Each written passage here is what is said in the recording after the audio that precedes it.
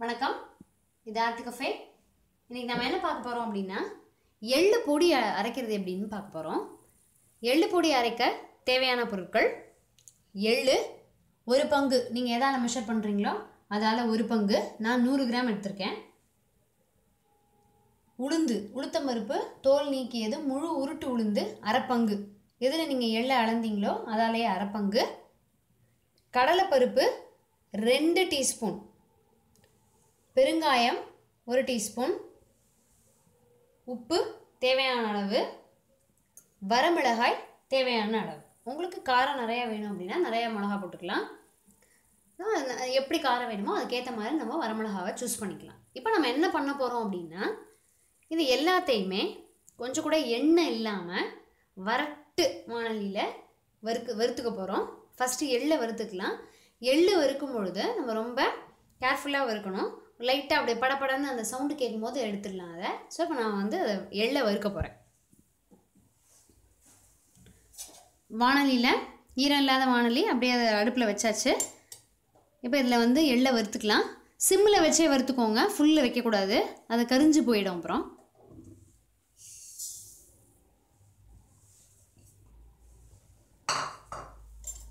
கருப்பு எள்ளு.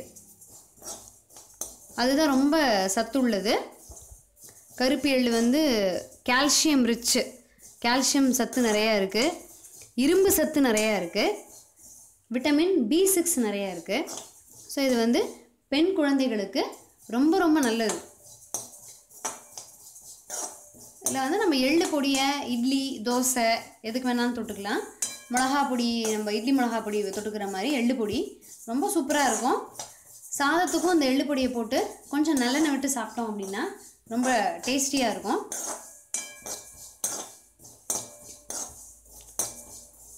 ஸோ எள்ளு வந்து வறுபடும் பொழுது உங்களுக்கு பட பட பட படன்னு சவுண்டு கேட்கும் அந்த எள்ளு பொரியறது. அதுதான் வந்து அதுக்கு பதம்.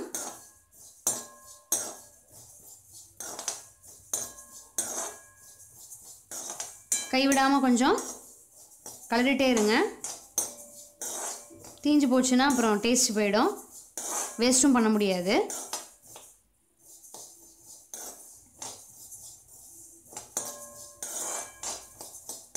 வெள்ளை எள்ளும் நம்ம யூஸ் பண்ணலாம். அதை கம்பேர் பண்ணும்பொழுது கருப்பு எள்ளு ரொம்ப நல்லது.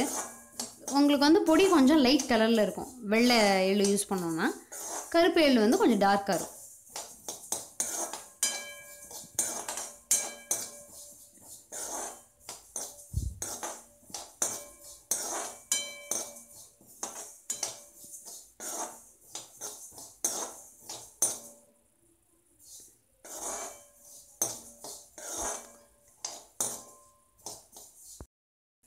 ஸோ எனக்கு வந்து இந்த படபடப்பு சவுண்டு வந்துருச்சு. அது ரொம்ப மைன்யூட்டாக தான் வரும்.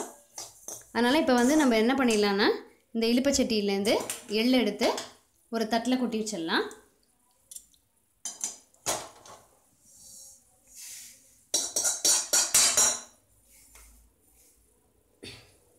இதே இழுப்பச்சட்டியில் அந்த உளுத்தம்பருப்பு கடலைப்பருப்பு. ரெண்டையும் கொட்டி கருக்காமல் செவக்க வறுத்துக்கணும். ஸோ எண்ணெய் கிடையாது. வெறும் வரட்டு வானலியில் இதை வறுத்து கருக்கக்கூடாது. நல்லா செவக்க வறுத்துக்கணும். இப்போ செவக்க வறுக்கும் போது பார்க்கலாம். இப்போ வந்து இந்த உளுத்தம்பருப்பும் கடலைப்பருப்பும் நல்லா செவக்க வறுத்துட்டேன். வந்து க கரிஞ்சியாமல் செவக்க வறுக்கணும். வரட்டு வானலியில் எண்ணெய் விடாமல் வறுக்கணும். இப்போ இதை எள்ளோடு சேர்த்து கொட்டக்கூடாது. தனியாக ஒரு தட்டில் கொட்டி ஆற வைக்கணும். ஸோ இதை வந்து தனியாக ஒரு தட்டில் கொட்டி ஆற வச்சிட்டேன்.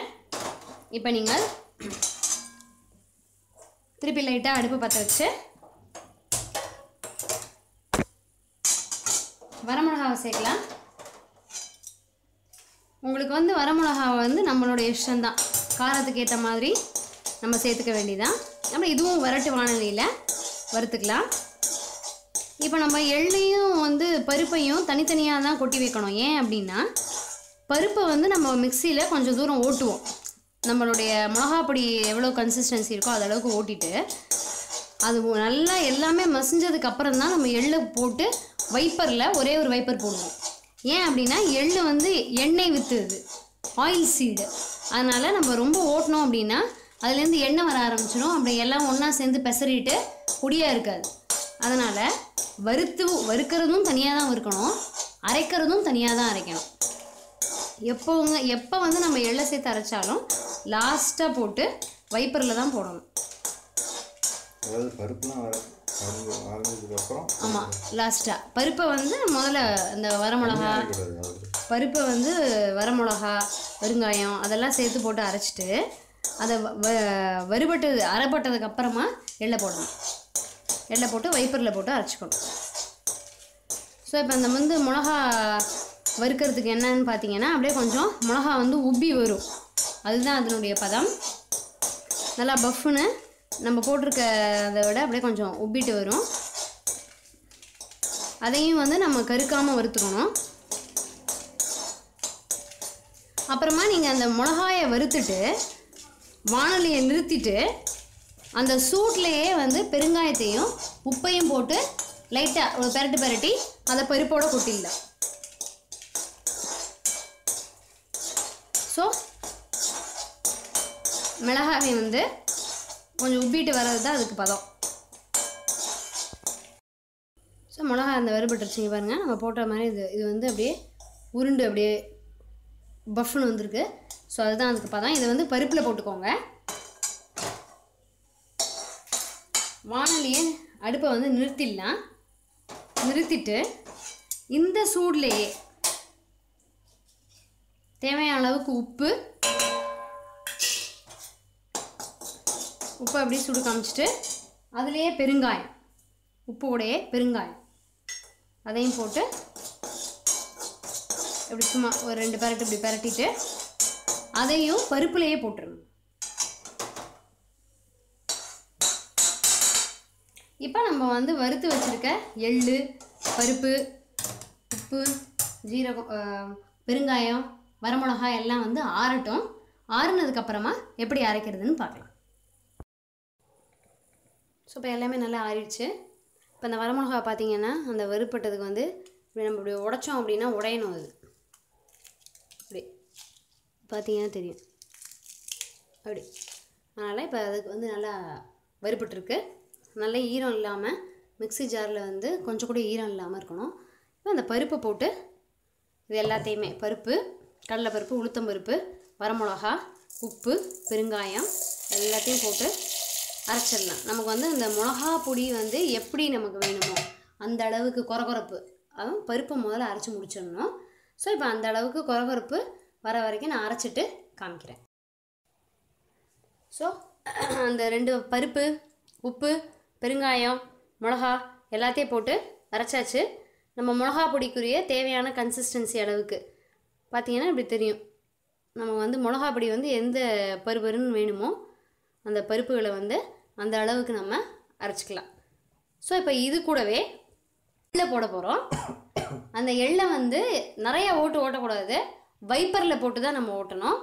நிறையா ஃபஸ்ட்டு நம்ம அந்த ஒன் டூ அப்படிலாம் வச்சோம் அப்படின்னா அது வந்து ரொம்ப ஒன்றோட ஒன்று சேர்ந்து எண்ணெய் வெளியிட்டு அப்படியே புடி புடியாக பிடிக்கிற மாதிரி ஆகிடும் ஸோ இப்போ இந்த எள்ளை சேர்த்து வைப்பரில் போட்டு அரைக்கலாம்.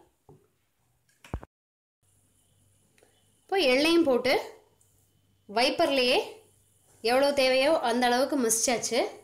அந்த எ- எவ்வளவு மசிக்கணும்னு நம்ம நினைக்கிறோமோ அந்த அளவுக்கு வைப்பர் மட்டும்தான் போடணும். ஒன்றில் கூட போடாதீங்க.